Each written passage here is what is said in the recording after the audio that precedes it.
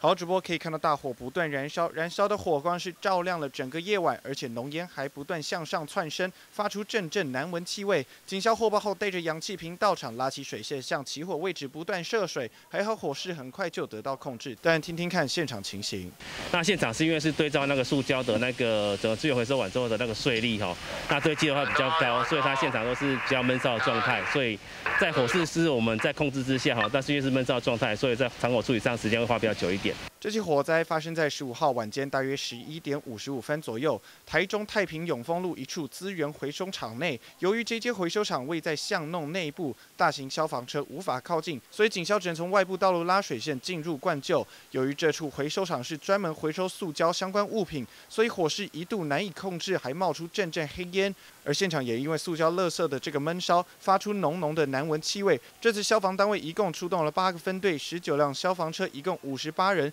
还好，在一个小时内就将火势给控制，总计燃烧面积大约三百平方公尺。还好当下回收厂里头没有人，火灾没有造成任何人员伤亡。至于火灾发生原因，警消初步研判是塑胶回收厂里头的垃圾自燃。以上最新资讯，主播。